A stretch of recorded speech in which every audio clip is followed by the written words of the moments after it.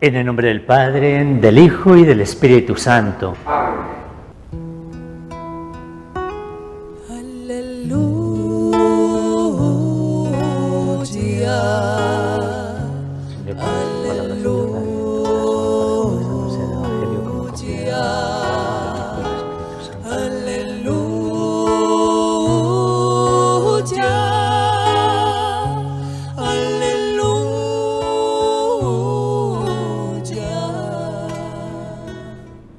Jesús proclamaba el Evangelio del reino y curaba toda dolencia en el pueblo.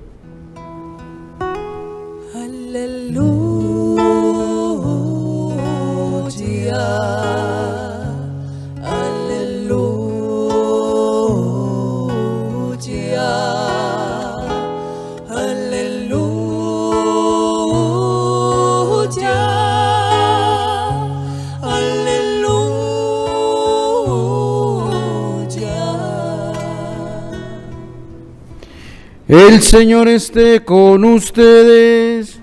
Y con tu espíritu. Lectura del Santo Evangelio según San Marcos. Gloria a ti, Señor.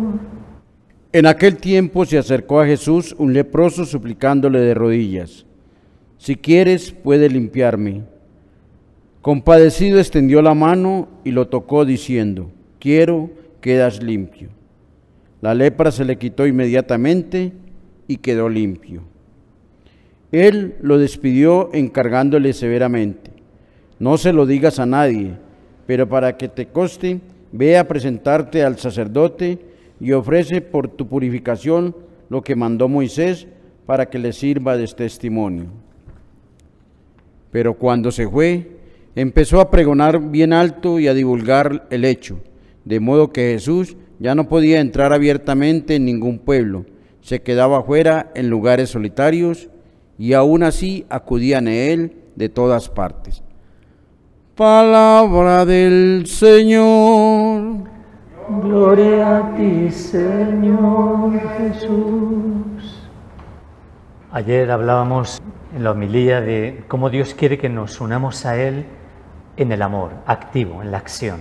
De hecho, los santos, los contemplativos, los místicos hablan de que la, unión más profunda con Dios es la unión de voluntades, es decir, en la acción. Por eso Dios siempre pone un verbo de acción. El mandamiento nuevo dice, ama como yo te he amado, ¿no? O María, cuando la voz del canal dice, hagan lo que Él les diga. Lógicamente me lleva a la oración para ver qué me dice, pero el verbo es hacer, actúa, ama, sirve, aporta, no estés parado, ¿no? Y eh, el Evangelio de hoy habla de el poder, o sea, la fuerza de la voluntad. Yo creo que es muy importante porque muchas veces nos frena eh, eh, y decimos, no, si yo quisiera, pero no puedo. Entonces vamos a profundizar un poquito este punto, ¿no? Porque se acerca este leproso, se pone de rodillas, sabemos que los leprosos estaban marginados, eh, aislados, ¿no? El Papa está hablando de, y es muy actual, porque en esa época era la lepra, lógicamente no tenían ellos veían que se iba desfigurando, que era muy contagiosa, ¿no? entonces quedaban fuera, excluidos de la comunidad. Pero es que ahora el Papa habla de que hay una cultura del descarte. O sea, ya no es que eh, los poderosos oprimen a los débiles, o, no, sencillamente eh, se margina, queda fuera, como si no existiera, ¿no? se descarta como a la basura. Y eso es muy fuerte. ¿no? O sea, la sociedad de consumo nos mete en un individualismo y en un ritmo que, que no tenemos ojos para el hermano. Y entonces, eh, así como este leproso estaba marginado fuera, eh, mucha gente está así. Y Jesús sale al encuentro, es muy interesante, ¿no? O sea, Jesús no se queda en las ciudades solo, sino que sale. Ayer veíamos que iba de pueblo en pueblo y también buscando dar vida a todos, ¿no? Y entonces se encuentra con un leproso, deja que se acerque, él se acercó, eh, se puso de rodillas y le dijo, fíjense qué oración, Señor, si quieres, puedes limpiarme. Es muy, muy profunda esta oración. O sea, el leproso toca el corazón de Jesús. Eh, le está diciendo, ¿tú quieres? Señor, ¿tú deseas que vivamos lo que estamos viviendo? ¿Tanto dolor? ¿Tú lo quieres? Dios dirá, pues claro que no lo quiero. Por supuesto que no. Si tú quieres, puedes curarme. Pero entonces es que Jesús eh, nos devuelve la pregunta. Dice, yo quiero, y justamente porque quiero curarte y quiero sanarte, no solo a ti, tu familia, tu matrimonio, eh, la gente, el ambiente, a nivel social, es que te pongo a ti eh, como medio. O sea, yo quiero hacerlo a través de ti y no voy a hacerlo sin ti. San Agustín decía, el que te creó sin ti, no te salvará sin ti. O sea, necesita tu libertad, no puede forzarlo, ¿no? Es libre. Pero entonces, cuando Jesús me decía, bueno, tú si quieres, puedes curarte, me lo dice a mí. O sea, Jesús te lo está diciendo a ti mismo. Y eso lo dice en todo el Evangelio, no es una interpretación así alegórica, es real. Él dice que se haga según tu fe. Pero entonces la pregunta, cuando uno lo medita un poco, es, pero entonces, si yo quiero, ¿puedo? ¿Y entonces por qué digo que no puedo? ¿Será que no quiero? Y ahí es donde Dios nos denuncia de corazón. O sea, en el fondo, en el fondo, no queremos cambiar.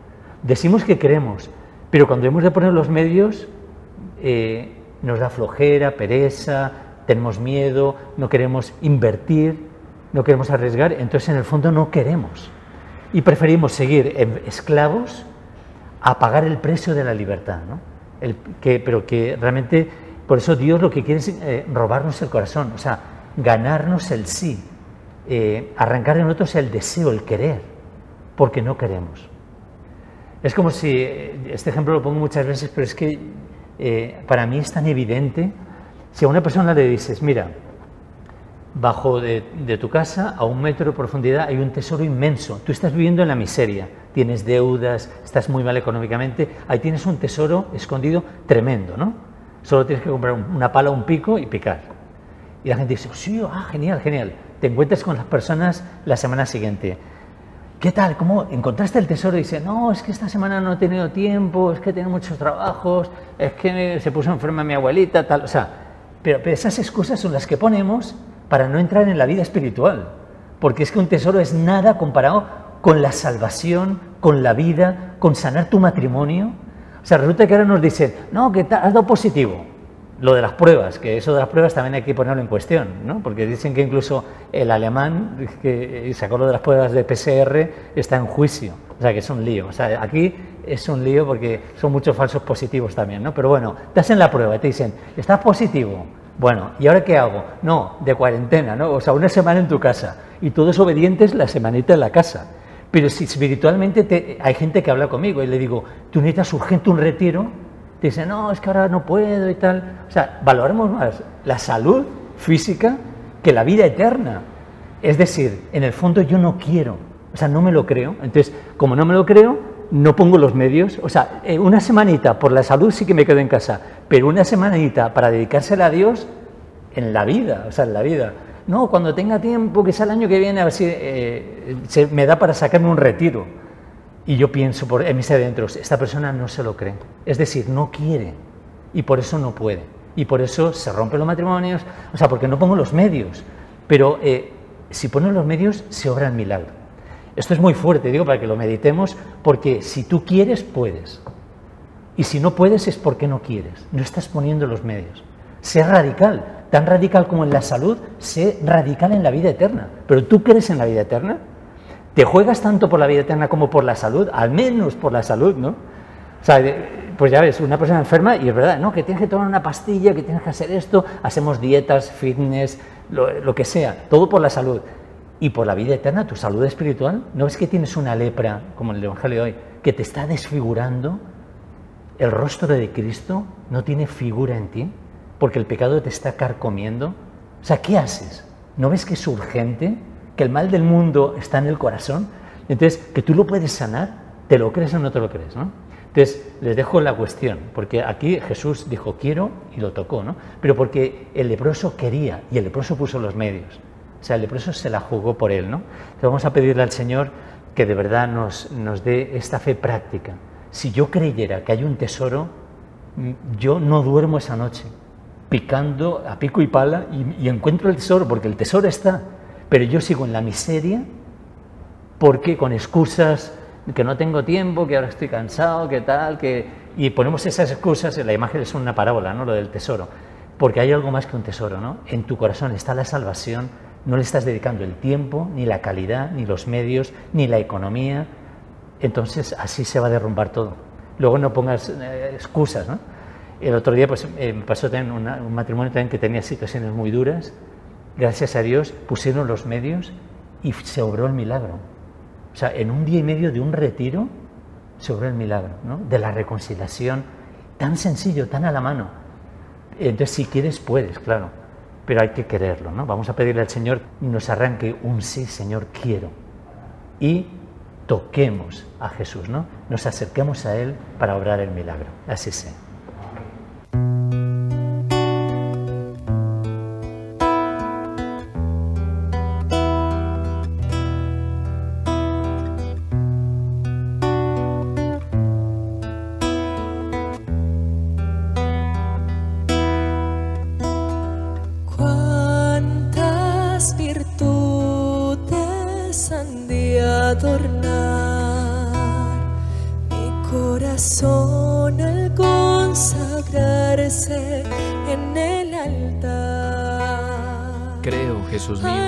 Que estás real y verdaderamente presente en el Santísimo Sacramento del altar.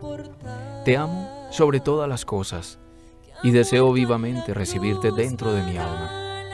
Pero no pudiendo hacerlo ahora sacramentalmente, ven al menos espiritualmente a mi corazón. Y como si ya te hubiese recibido, te abrazo y me uno del todo a ti. Señor, no permitas que jamás me aparte de ti. Amén. Me rindo ante ti, Jesús,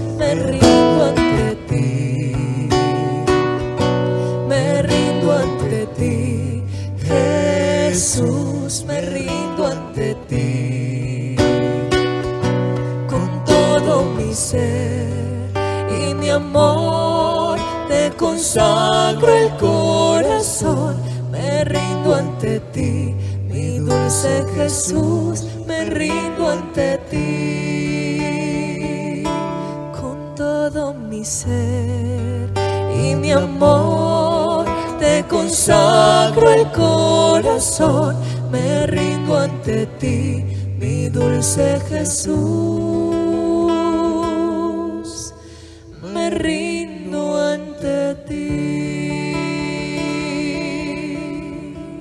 Y la bendición de Dios Todopoderoso, Padre, Hijo y Espíritu Santo, descienda sobre ustedes. Amén.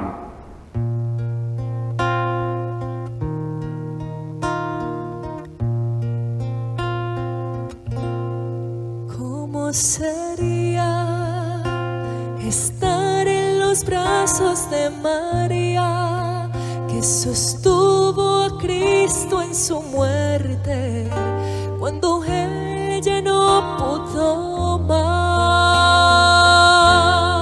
Esconderme en el manto de aquella que atiende a Cristo en vida y en muerte y cuidó con su amor maternal.